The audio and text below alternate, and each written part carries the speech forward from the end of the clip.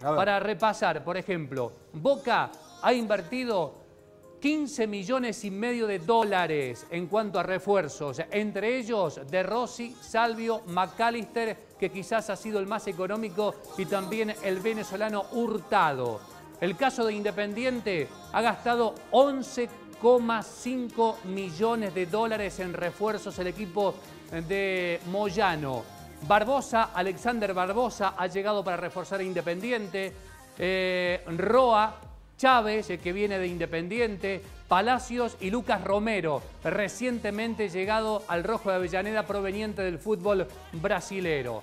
San Lorenzo de Almagro, que no le paga a nadie, que emitió cheques por 27 millones de pesos en lo que va del 2019, se ha dado el lujo de gastar 7 millones 400 mil dólares en refuerzos.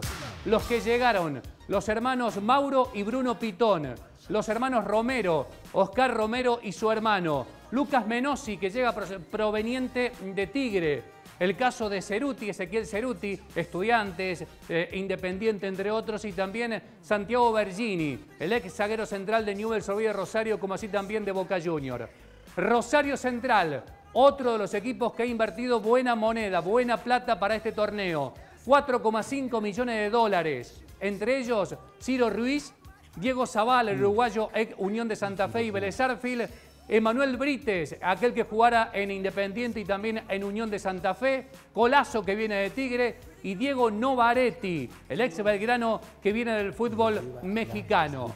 Racing Club, otro equipo, el actual campeón de la Superliga, ha gastado 4.300.000 dólares en refuerzos. El caso de Matías Rojas, el caso de David Barbona, que viene de Atlético Tucumán, y también de Walter Montoya, que viene del fútbol brasilero. River gastó en un solo refuerzo. Paulo Díaz, el chileno, 4 millones de dólares por el 70% del pase que ha llegado recientemente. Colón de Santa Fe, 4 millones de dólares. Díaz, Aliendro, Acevedo y Lertora, como refuerzos, entre otros, lógicamente.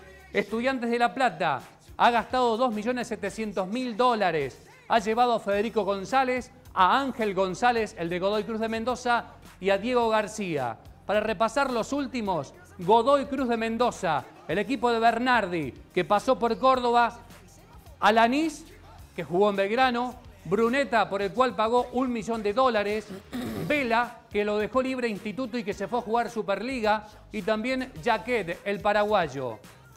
Newell's Old de Rosario, otro que tiene terribles problemas económicos, ha gastado 1.800.000 dólares en refuerzo el equipo de Frank Darío Kudelka. Gentiletti, Santiago Gentiletti, Cristian Lema, el ex zaguero de Belgrano que viene del fútbol uruguayo, Rodrigo Salinas, que viene de jugar en Vélez eh, Albertengo, que quedó libre de Independiente, y Julián Fernández, el argentino que viene de Palestino de Chile. Son algunos de los clubes que han invertido buena plata en dólares para reforzarse para la actual temporada de Superliga 2018, 2019, 2019, 2020.